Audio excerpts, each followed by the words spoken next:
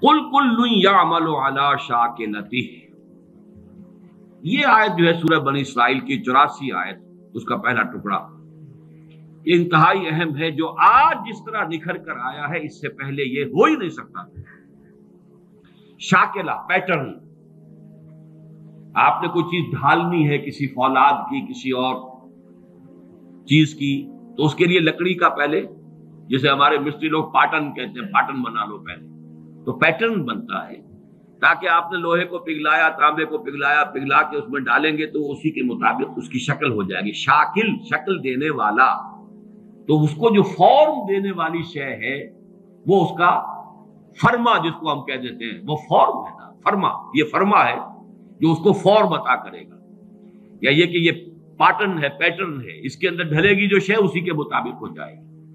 وہ ہے شاکل۔ اور یہ شاکلہ جو ہے، آج ہمیں معلوم ہے جینز کے حوالے سے۔ ابھی حال ہی میں چند روز پہلے کلوننگ کے موضوع پر ایک مذاکرہ سا ہوا تھا پنجاب یونیورسٹی میں۔ اور میں اس میں سامنے کی حیثیت سے گیا تھا اور مجھے اس سے فائدہ بھی ہوا۔ اور احساس ہوا یہ کہ جو میں نے بارہا یہ بات کہی ہے کہ اللہ تعالیٰ نے جو حالانکہ مجھے پریکٹس نہیں کرنی تھی اور میڈیکل پروفیشن کو اس طرح اس کے علم میں تو تھا کہ مجھے پرسو کرنا ہی نہیں ہے۔ پھر بھی مجھے اس طرف سے کیوں گزارا؟ اگر میں اس میں سے نہ گزرا ہوتا تو یہ ساری بحثیں میرے سر کے اوپر سے گزر جاتی۔ میں ان کو بالکل سمجھ نہ سکتا۔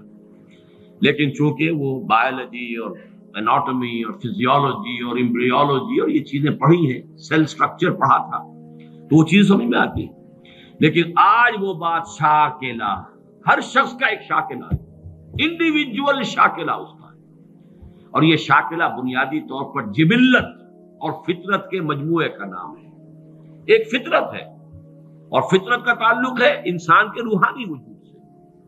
ایک جبلت ہے یا سرشت فارسی کا لفظ ہے۔ جبلت عربی کا لفظ ہے۔ لیکن عربی میں اس سرشت کے لیے صحیح لفظ ہے خلقت خلقت۔ ایک ہمارا، ایک ہماری خلقت ہے، ایک ہماری فطرت ہے۔ خلقت اس آب و گل کی دنیا سے ہے، پانی اور مٹی کے دنیا سے آئی ہے خلقت۔ یہ یہاں سے آئی ہے۔ فطرت وہاں سے آئی ہے۔ کل مولود یولد علی الفطرہ، یہ تین حدیثیں ہیں اس میں کہ جو ہم پڑھ چکے ہیں۔ الناس و معادن کمادن ذہب والفضہ، وہ بھی ہم پڑھ چکے ہیں۔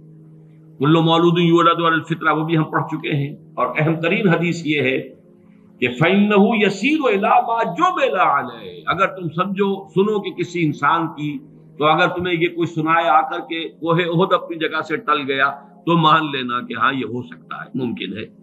لیکن اگر یہ کہا جائے کہ کسی شخص کی سرشت بدل گئی ہے تو کبھی نہ مانے۔